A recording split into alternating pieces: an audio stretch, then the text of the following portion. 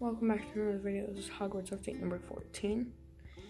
Um, I have gotten this base plate, like I said I would last update. And a few other things. I've integrated the library building into my Hogwarts. And then just some smaller changes. So let's get into them.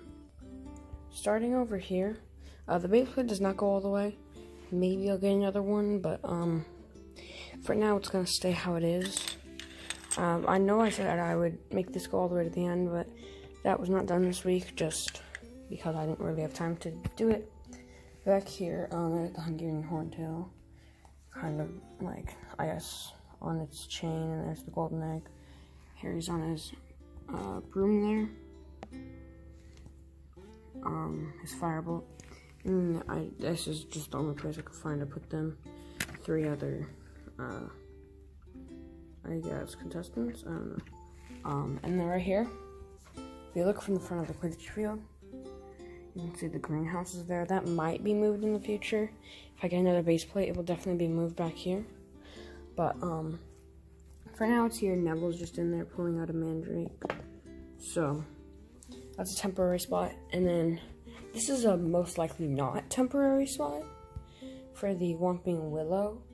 Um, it sits nicely in between the water and this grass that just needs to be filled in right there. Um, I did fill in some of this, this grass over here and also back there. I think you can kind of see down there. So that's all filled in.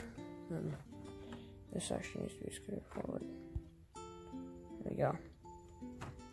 Alright, anyways, um, Buckbeak's missing for a reason. I don't know. A lot of minifigures are gone for this update, but they will be back. Um, and then Harry's just been moved slightly to make room for this stuff over here.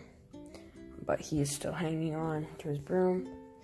Everything else is the same in the Quidditch field. Nothing's changed in the Hogwarts Express except for.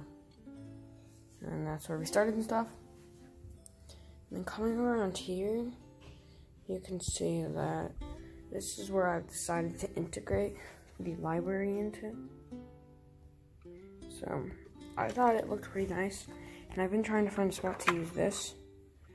Um, from the room requirement set, I modified it a little bit to make it fit into here. But it just slides nicely down into there. You can see there's the, uh, shoot. Uh, it's Umbridge's, like, rules and stuff. I don't know what yeah, those. Can't remember what they're called right now, but hopefully I can later. And then I just have this floor. It's really loose um, with a bunch of plates. So hopefully I'll be able to get these all taped down like I did my Quidditch field. And then this is where the library comes in. Um, this is, um, I'm not going to go too in depth to this because I already did my last video. Uh, there might be some small updates on this build. But also, if you've not seen that video, check right up here. There will be a little poll thing um, for you to click on, and you can go watch watch that video and see what's inside here if you would like. And down here, this is there would be a wall here coming through right here, but it's just open right now, so you can see. And then there's the corridor uh, connects to this hallway right here, which then goes through and comes out here. If you've been following my updates, you know that. And then I have moved some minifigures around, so there's just Harry here.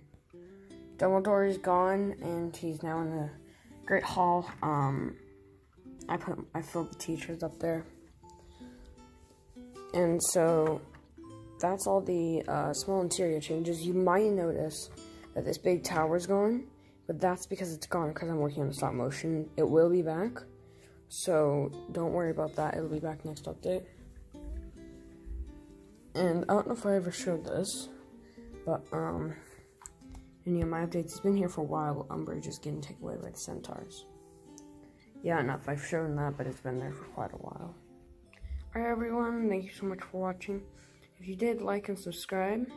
Um, and this is actually a quite short update.